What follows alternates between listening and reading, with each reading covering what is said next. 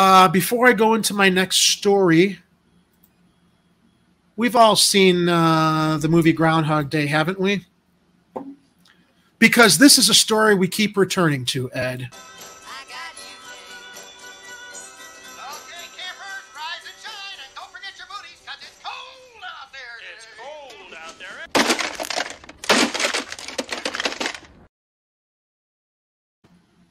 This is the part of the show where we return to stories we previously reported on that are continuing to evolve. Um, Yeah. So how about this? How about this? Lori Lightweight, Lori Leprechaun, Lori Thinskin, bitches and moans about Governor Abbott busing all these migrants to Chicago. She's welcoming them with open arms, and then she buses them to Burr Ridge. Yeah, that's not great optics there. Um, it's not great optics, and she's literally like inviting. She's she's inviting people to just it, completely. Uh, what's the word? Uh, just gut her politically, uh, and what the optics are, and how utterly tone deaf and and and uh, disconnected she is with how that looks.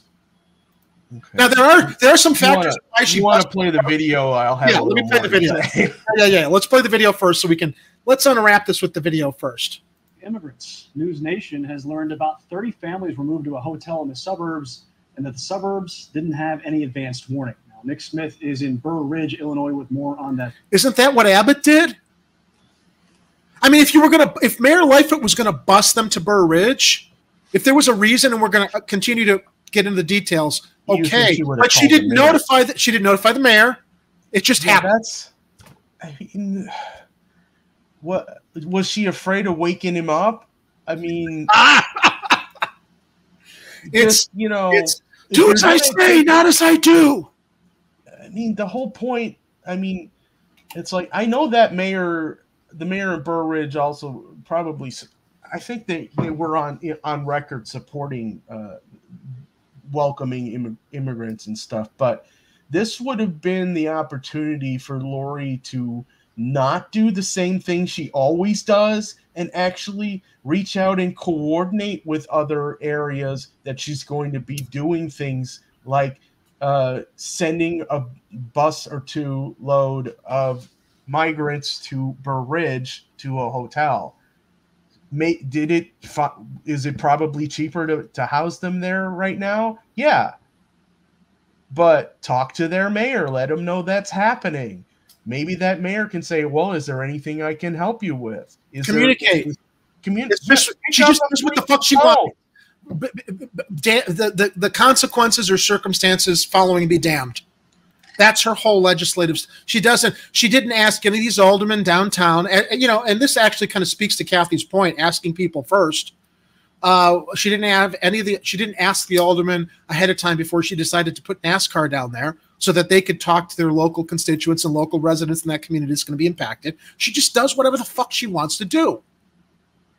And this is i mean this is everything uh, this speaks to everything that um, that political story was kindly dancing around as far as her brusque management style.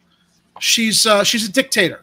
She's she's uh, Rahm 2.0 two inches shorter. And right, let's just- go ahead Yeah, and it just it just sets up this dynamic where everyone who opposes her is now going to stoke this anti-immigrant stuff just because they they they want to complain about about uh, you know irresponsible mayors uh, shuffling uh, shuffling people around. We're going to steal your gerbs. No, they're not. oh They're not. oh oh oh here he is internet troubles be damned hello kit Hello, I prayed to the Omnissiah to make sure that the machine's Ah! computer would work well, and so the Omnissiah answered, and I just said one zero zero zero zero zero one zero zero zero one. So, uh, guys, I don't mean to interrupt, but I remember last Friday's show. Last Friday's show, we were all three of us here, and we were talking about the situation, Yep. Immigrants coming here in Chicago, and I said, I hope I'm wrong. But I had a feeling that Lightfoot's administration would be doing something sneaky, something devious. I wouldn't know what it was. To be very clear, I don't think any of us knew that this is something that our mayor would do. But How fucking stupid she would be.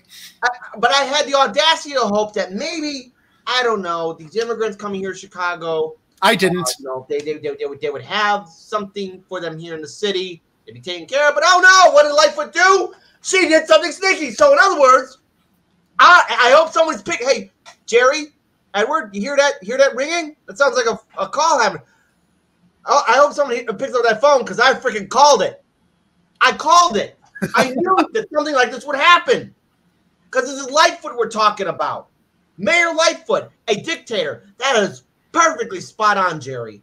You called it, Kit. You son of a bitch. Welcome to the party, pal. Shit, Let's watch the rest of the video to see just how how how badly uh, she bungled the optics on this one and, and the reasons behind her decision. Yep. Mitch, good morning. As buses of migrants continue to make their way to Chicago from Texas and to other sanctuary cities, Chicago Mayor Lori Lightfoot is calling out Texas Governor Greg Abbott for calling and treating migrants not as people, she says, but as things to be shipped. My frustration That's- comes from But she um, did. Pot meet kettle. Pot meet kettle. And may I also add in my commentary, What a fucking bitch, am I right? let's continue. I beg your pardon. What did you say? Coordination and cooperation, but he chooses to do none of those things and instead tries to uh, send human Level of cooperation and communication. She did exactly the same thing to the mayor of Burr Ridge with these people that she just shipped on buses like they were freights. beings, not cargo, not Cargo. freight, but human beings across the country to an uncertain destination.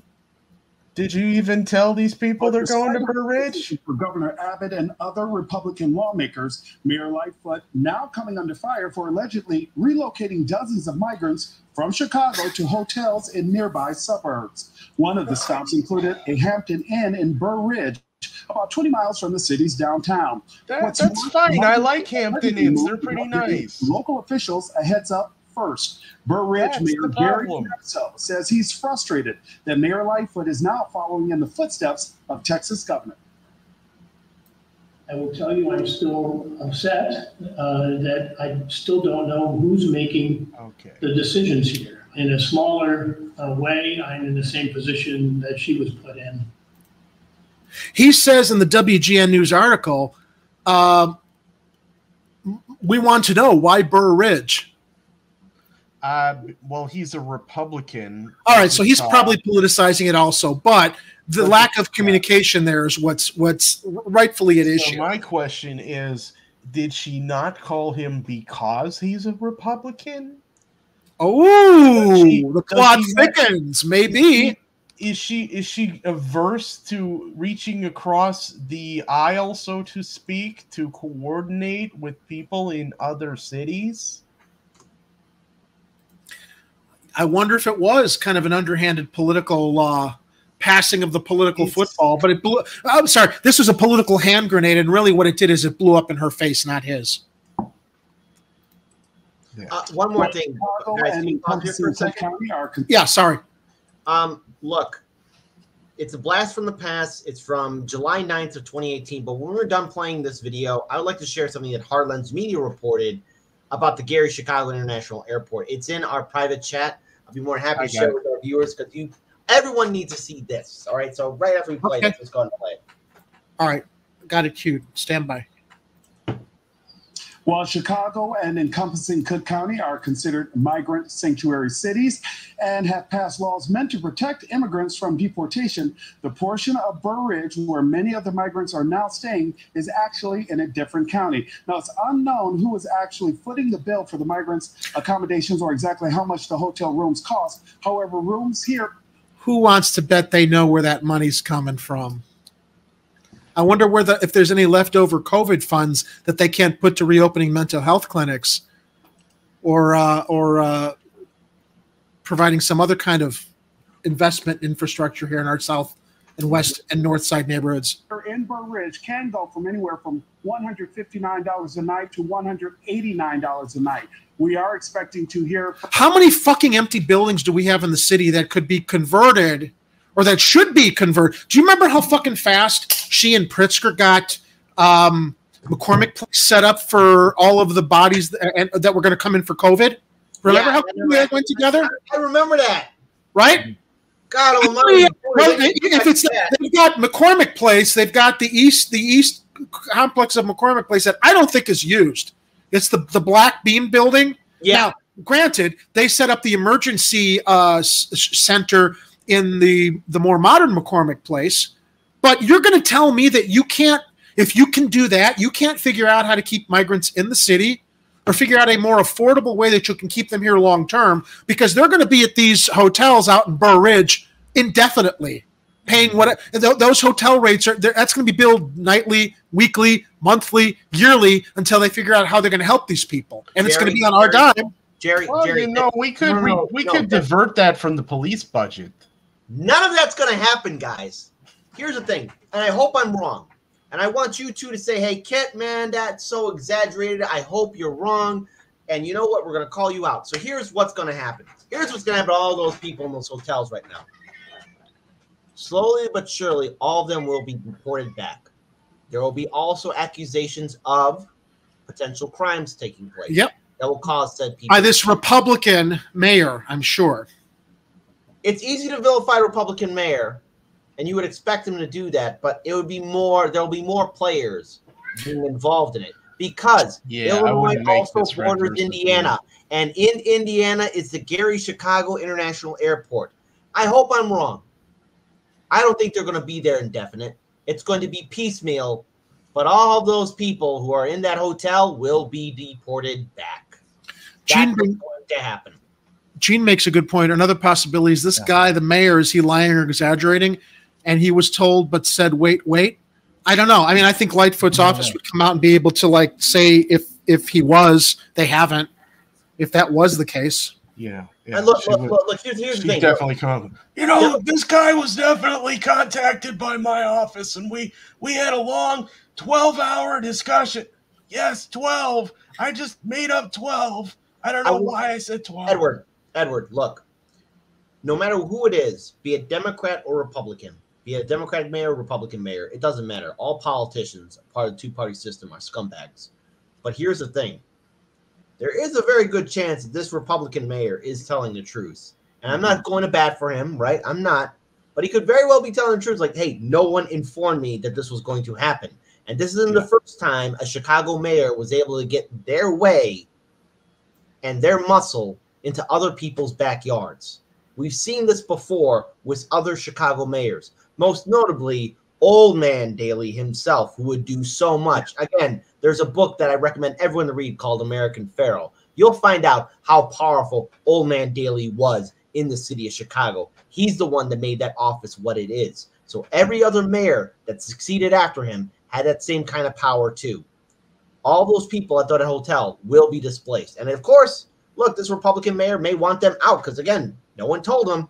If that's the case, a lot of these people, their lives are going to be turned upside down, and innocent families are going to suffer because of the inaction and the incompetence of a lot of our politicians, not only at the federal level, but now here at the local level.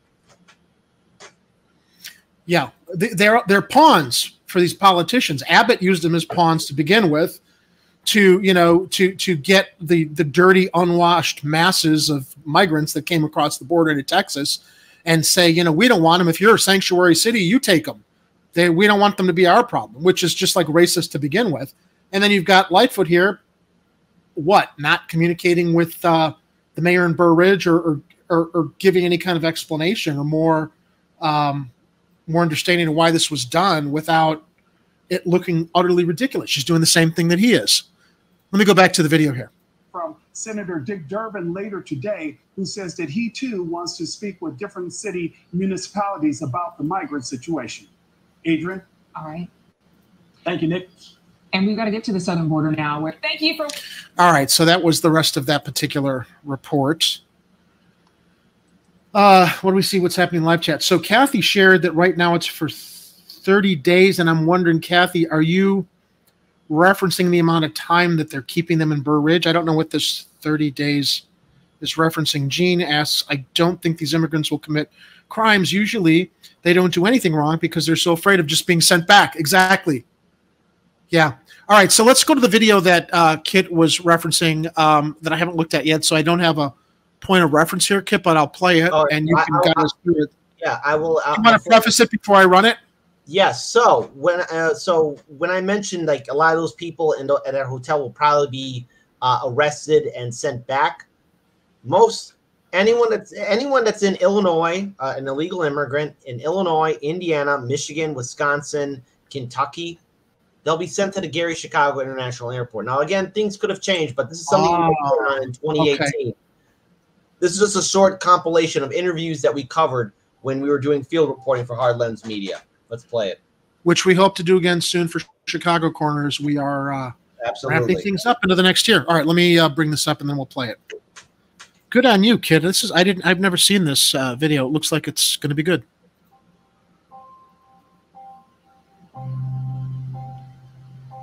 We have seen the buses, we have seen the human beings shackled and forced onto the planes, mothers and fathers separated from their children.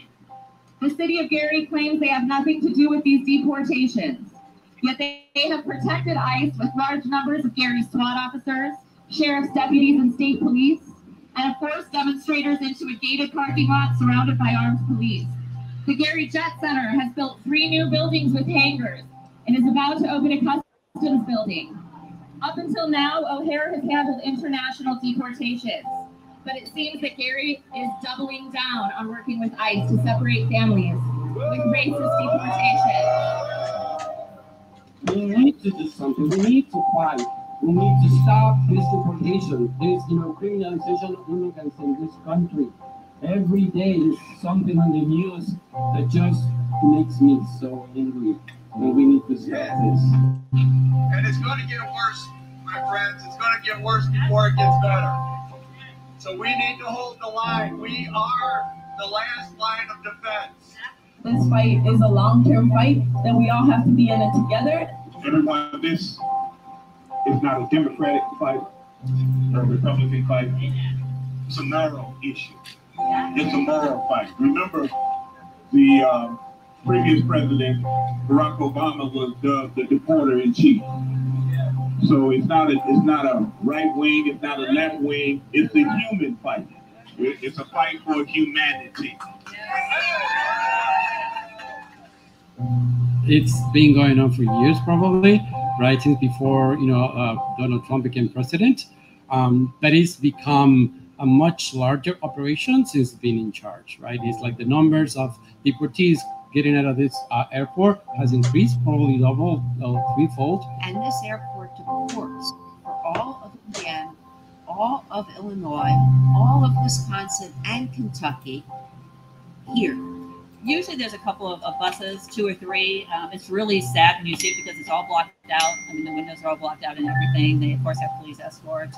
Um, then when they bring them to the planes, uh, it's like they're shackled and then the plane windows are blocked out too. And it's, it's really, really sad. My sister was part of one of deported from Chicago Airport. Actually, she was sent back. She was only here to visit for one week, and she was sent back just because of the um, executive order that went into effect while she was on the plane. We are here every Friday, right? Today was a much larger crowd and quite effective because we actually, you know, um, stopped the plane, but not not directly, but they suspended the uh, today. we're going to have to invade the politics and uh, we're going to have to also get our feet in the street and put our bodies on the line. Uh, and, and that's that's the main way that we're going to uh, be able to overcome this. Uh, and you know in the in, in between elections you know elections matter uh, but the fact is that we need to invade those ele- elections not just uh, pick the lesser of two evils All right, that's the end of that video. This is outstanding, Kit. Thank you. Really well was- done. Really well Yeah, done. That was uh, that was pre news mullet kit. Yes. Very, yes. There you go. Out there doing the good work. Thank you, thank you, Edward. Uh, but yes, that was uh, just some of the stuff that we did cover uh, for the Gary Chicago International Airport, and I'm willing to bet that all those people in that hotel will visit said airport. And by the way, when we talked to, there's individual interviews, and we also sp- sp- uh, spoke to people uh, off the record how again the immigrants are chained like like animals and have to crawl up the steps onto the air, airplane to be deported back to their home country. Now, the WGN News report uh, by Ben Bradley and, and Julianne Cruz goes on to say that uh, Democratic politicians, including Lightfoot Cook County Board President Toni Preckwinkle and Illinois Governor J.B. Pritzker, have vowed to welcome the migrants and provide a full range of services to meet their immediate needs. Um, Chicago's so-called sanctuary city, and so is Cook County. Local officials have passed laws meant to protect immigrants from deportation. However, the portion of Burr Ridge where many of the migrants are staying, Kit, is actually in DuPage County. They're moving them to a county that So not uh, doesn't have the laws in place like Cook County. All right. So while campaigning for Congress, Grasso said he would work to secure the border and defund sanctuary cities. However, Grasso noted his village board had not taken a position on sanctuary cities. Grasso said he, what kind of a fucking play is this? She sends him into a county that she knows doesn't have the same protections as Cook County. Well, Jerry, it's like I said. Look, the biggest open secret is yes, Chicago is a sanctuary city. Okay, fine, yeah. But how often do the immigrants, illegal immigrants, or people who are seeking safety and sanctuary allowed to stay in the city of Chicago and Cook County? How long are they here for? Does anyone really care? And if a politician can move them, so be it. And that's what the Gary Chicago International Airport is all about. Right, right. Jerry, do me a favor. Whatever the other time, have just a small conversation with Daniel, and he will tell you about his impression at the Gary Oh, Chicago. I don't doubt. I don't doubt any of this. Yeah, I mean, it would be good. no, no, no. But he- he- hear me out, because because again, this is just a build up, just so everyone understands this dirty secret. All right. When we were driving there in 2018 to this airport, I was talking to Daniel about the Gary Chicago International Airport because there's the Gary, in, you know, Gary um, Air, Air and Water Show. And he, when we were getting close to the area, he's like, "Wait, what are you talking about? I see no airport. It's almost hidden out there in the open." And then when you get there, you realize it's such a big secret. This is where Chicago sends all of its problems away. This is where it sends people where no one's going to ask questions. It's right there under our noses. So you could so you could make the the argument that knowing DuPage County doesn't have the these protections in place and knowing that Mayor Grasso is a Republican who openly campaigned on uh, defunding sanctuary cities and securing the border, Lightfoot basically just pandered to the public she was going to do something and basically put them back in harm's way. You could make that argument, yes? Yes. And on top of that, if I'm wrong, hey, you guys can call me out and say, oh, kid, you over exaggerating. And you know what? I'll apologize. I don't think you're wrong. Ken. We know what Mayor Light. We, we know we know what. Look, when it comes to Mayor Lightfoot, What a fucking bitch, am I right? I just can't I get. beg your enough of that pardon. clip. What did you say? Get out of here. Be gone. Beetlejuice. Beetlejuice. Beetlejuice. That doesn't work on me. I've got worm insurance. Hey, You've Lightfoot. seen the movie, you know what I mean. All right. Lightfoot, Lightfoot, Lightfoot. Your ass is showing. Go away. I know. um, actually, um, I was just I just came on to say that look, it was it's a completely logical set of reasons why I shipped the migrants to Burr Ridge, and it really has to do with the fact that since they're in DuPage County now, that that bitch Preckwinkle can't do a goddamn thing about it. Gotta go.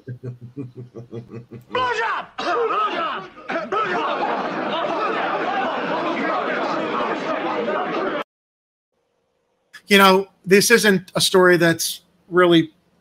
I don't know. what is- What's the? This is not a story that is is uh, one to make light of. But I mean, we we'd either be crying if we weren't laughing about the absurdity of what's going on here. But you know, it, it's just more evidence of why this bitch has got to go. And I'm not being a misogynist using the word bitch. I I use the word bitch when I've talked about Mayor Rahm Emanuel in the past. Also, it's not a gender based slur, as far as I'm concerned.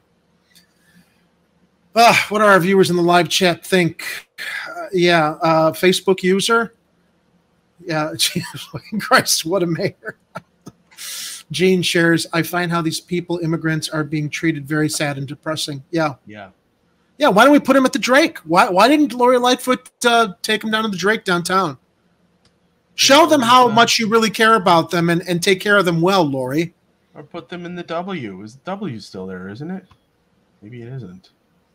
The hotel. Yes. Bad cookies. Thank you for making my point for me. Yes, bitch has no sex if used as a derogatory term. Men can be bitches too. And I think I used that drop in when we were talking about Darren Bailey not too long ago. Yeah. Bad cookies. Be be a good cookie. There you go.